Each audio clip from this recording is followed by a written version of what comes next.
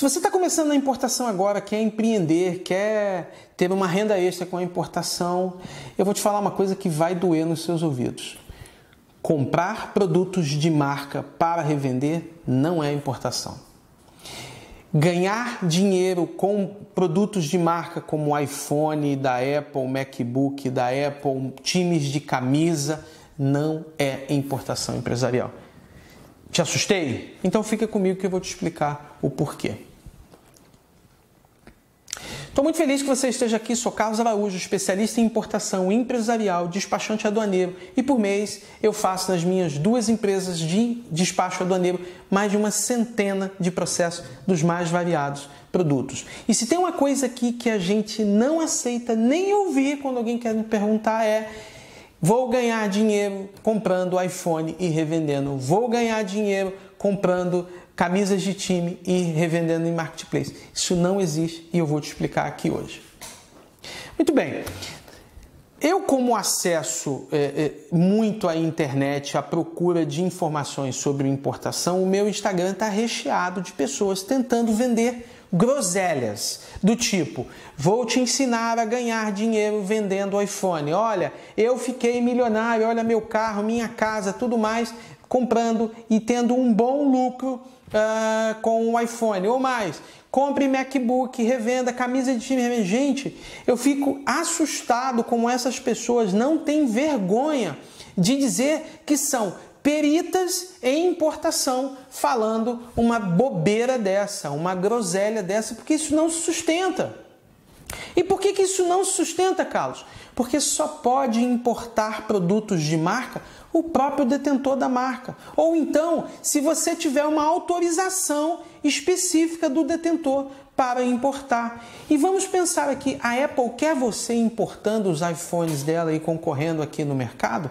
Times como o Flamengo, o Corinthians, o Vasco, o Palmeiras, o Santos querem que você faça importação de produtos com a marca deles, vindo da China ou de qualquer um país asiático para vender pela metade do preço do que está na loja oficial? É claro que não. Por que, que ela lhe daria a autorização para isso?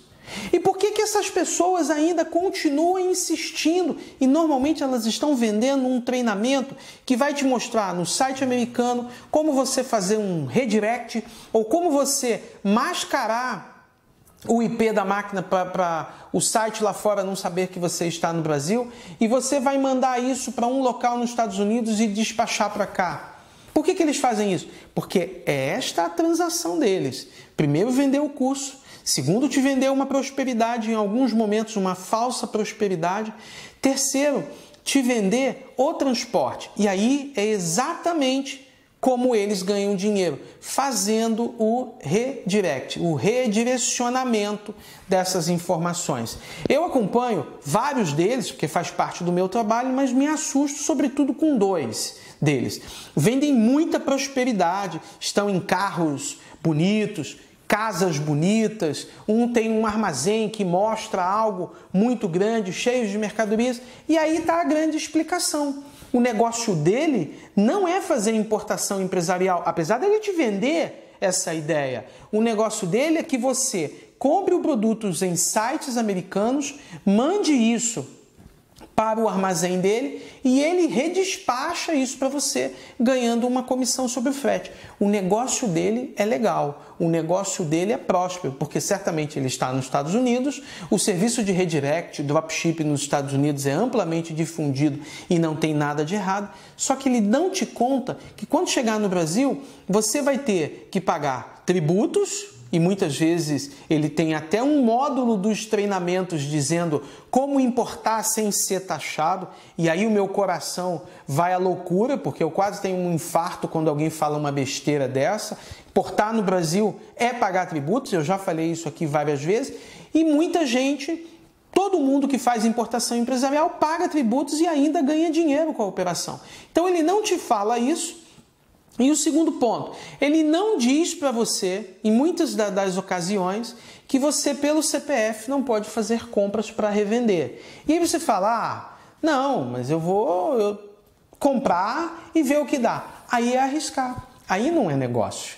Aí não é estar direcionado para a importação empresarial. O que você quer é uma renda extra com arriscar. Isso eu não falo. Mas eu me incomoda essas groselhas todas que acontecem na internet, porque elas garantem, elas dizem para você, boa parte dessas, dessas pessoas que têm sucesso na venda desses treinamentos estão nos Estados Unidos, porque lá a vida deles é tranquila e o que eles estão fazendo pelo ponto de vista americano tá tudo bem, mas eles no fim não te vendem a verdade. No fim, eles não te mostram a história por completo. E aí você pega e faz investimentos de uma vida para colocar num negócio para comprar 5, 10, 15 iPhones e essa mercadoria fica apreendida na alfândega brasileira. E detalhe, você ainda pode ser enquadrado como alguém que está fazendo descaminho porque isso é um crime tributário.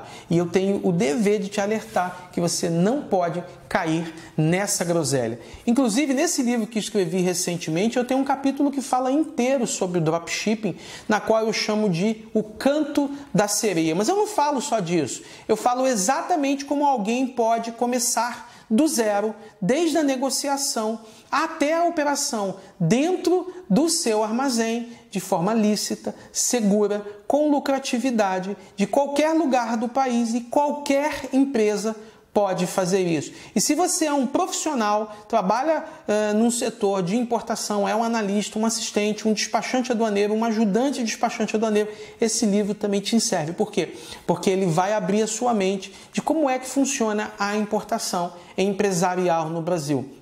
Aqui embaixo tem um link que você pode adquirir um combo, que não é só o livro. E note, eu não estou te vendendo um e-book em que eu estou segurando um ou dois livros impressos aqui, não. vou te mandar o livro físico. Mas não só o livro físico, também vou te mandar o e-book em PDF que você vai receber imediatamente. Você vai receber o audiobook em que você vai pegar todos os áudios, colocar no seu celular, no carro, para escutar enquanto caminha, passeia com o cachorro, passeia na praia ou faz exercício um treinamento de 10 vídeos te mostrando como funciona a importação no Brasil e com frete grátis para qualquer lugar do Brasil. Se interessou? Aqui embaixo tem um link. Antes de finalizar esse vídeo, eu quero chamar a sua atenção.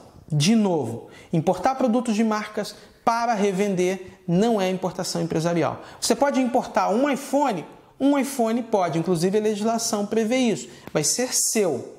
Você vai comprar e vai ser taxado, em muitos, do casos, vai, muitos dos casos vai ser taxado. Mas você tem que fazer a conta se o que você comprou lá, mais o imposto previsto na legislação, vai ser satisfatório. No meu caso, Nunca foi. Todas as contas que eu fiz para o iPhone, para qualquer outro produto, não ia. Por quê? Porque eu contava com o pagamento do tributo, que é o que pode acontecer. E lá fora você paga antecipado, aqui no Brasil você vai pagar parcelado, você vai ter a garantia local e isso, para mim, no meu caso, sempre fez muito sentido. Eu sei que tem muita gente que compra para uso próprio, tá tudo bem, nada demais. O que você não pode fazer é comprar produtos de marca para revender. Isso não é importação empresarial. Se você insistir e a Receita Federal pegar, além de ser apreendido, existe um dispositivo na legislação que você pode ganhar um processo criminal por uso indevido da marca. Ah, Carlos, mas eu conheço muita gente que faz. Pois é, sua mãe dizia que você não é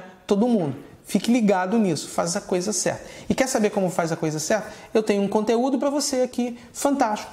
E nesse canal tenho vídeos todos os dias que fala de importação empresarial. Se isso tudo que eu falei para você fez sentido, deixa seu like. Se você conhecer outra pessoa que você possa indicar, faça isso para esse conteúdo chegar a muito mais gente. Beleza? Fico por aqui e até um próximo conteúdo. Até mais!